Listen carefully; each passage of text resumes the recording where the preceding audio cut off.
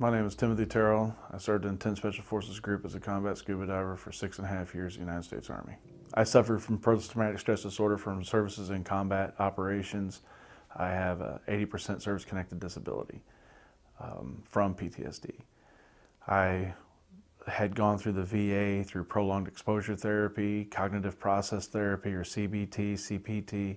I also did EMDR, uh, eye movement, redistribution, whatever that is. Um, none of those processes were successful, and the PET actually exacerbated my prolonged or my uh, PTSD.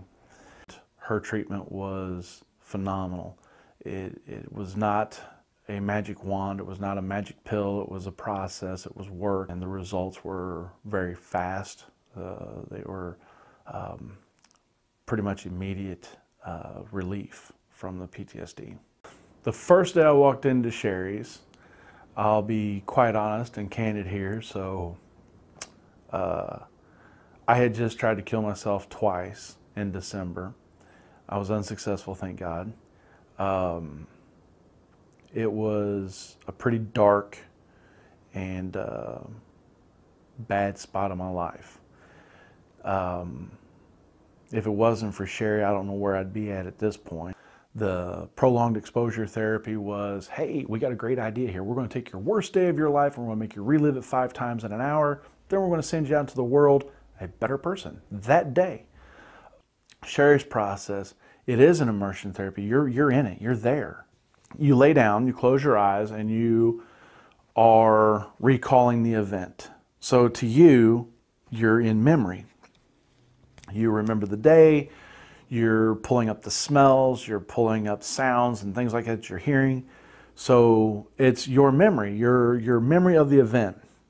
What Cherie is doing is guiding you through this and, and talking you through it. And it's really getting your mind back to that moment in time, to that exact experience. And then she alters that experience, which in a way alters the way your mind recalls that. So now you're changing your memory, you're changing that recall. And that's what EMRD is supposed to do. So she does that in a way that is subtle and in a way that is non conflictive and non confrontational and actually very empowering. And people are like, well, now you're, you're just making up a history. No, no, no, no, no here's the reality of things. If you watch a car wreck take place, you'll say, well, this is what happened. Well, and if you do an investigation of it, you'll find out that your memory of that car wreck that happened 15 minutes ago is actually a little bit different than what you said it was because we have a way of only seeing portions or parts of what we're seeing and we respond and hold on to those feelings. If you can change those feelings and the perception that you have an event, you've now changed the whole event.